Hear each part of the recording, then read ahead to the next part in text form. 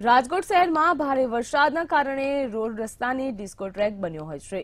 ભારે વરસાદના કારણે શહેરના અનેક રસ્તાઓ ધોવાઈ ગયા છે અને જેના કારણે વાહન ચાલકોને ભારે હાલાકીનો સામનો કરવાનો વારો આવી રહ્યો છે. શહેરમાં મવડીથી સુવર્ણભૂમિ સુધી અને આયર્લેન્ડ રેસીડેન્સીથી સ્પીડવેલ પાર્ટી પ્લોટ સુધીના રસ્તા ઉપર ખાડા રાત જોવા મળી રહ્યું છે. ખાડાઓ હોવાના કારણે વાહન ચાલકોને અકસ્માતનો પણ ભય સતાવી રહ્યો છે.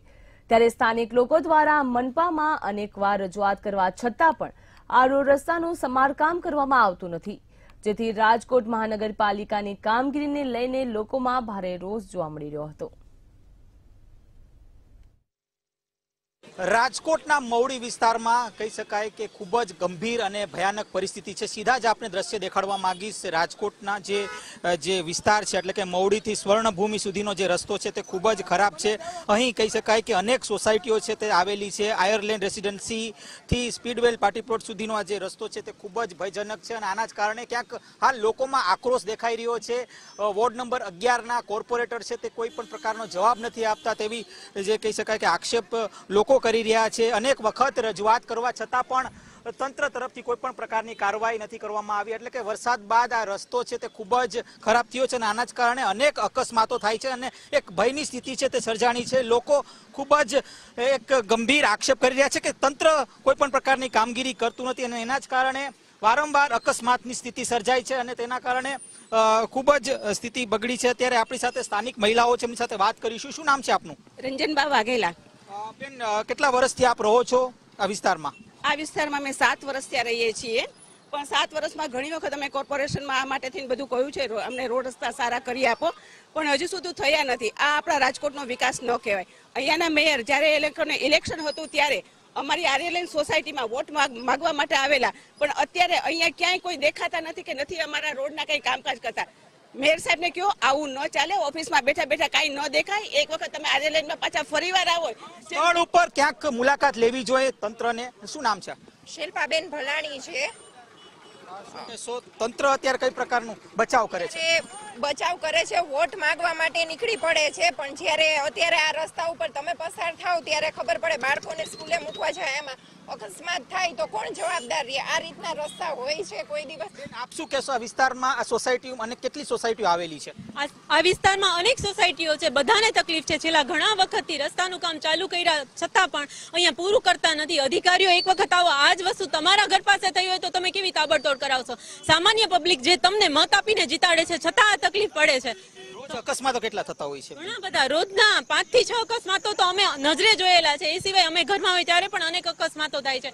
વડીલોને હવેલીએ જવું હોય સ્કૂલમાં છોકરાઓને મૂકવા જવા હોય હરેક વખતે અહીંયાથી પસાર થવું પડે છે અને તકલીફ ભોગવવી પડે છે. શું નામ છે તમારું?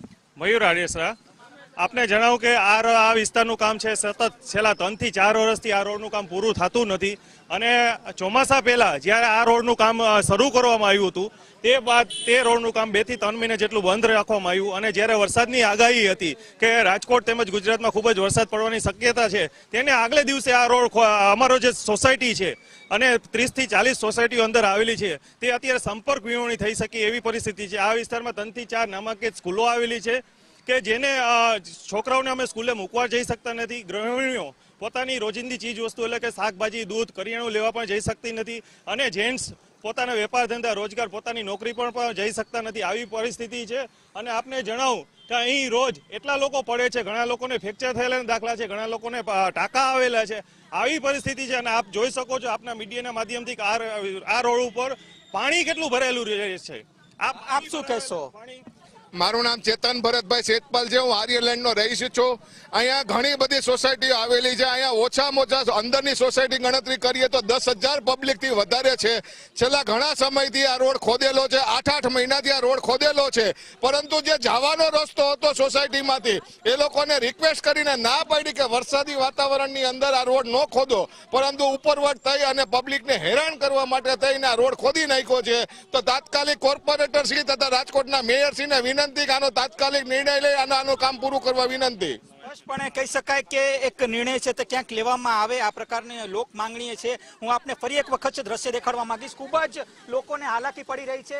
આપણે જે દ્રશ્ય છે તે દેખાડવા માંગીશ કે લોકો અહીં જે અવર કરતા હોય છે તે લોકોને હાલાકી અત્યારે પડી રહી છે. કારણ કે સ્થિતિ અત્યારે એટલી ખરાબ છે કે જે અવર કરવા માટે જે રોડ રસ્તો હોય એ ખૂબ જ ખરાબ છે અને આના જ કારણે જે સ્થાનિક રહીશો છે, તેઓની સ્પષ્ટ માંગણી છે કે આ જે રોડ રસ્તો છે તે રિપેર કરવામાં આવે. ક્યાંક આ રોડ રસ્તા રિપેર તો કરવામાં આવે છે, પણ ભ્રષ્ટાચારની શક્યતાઓ પણ અત્યારે સેવાઈ રહી છે.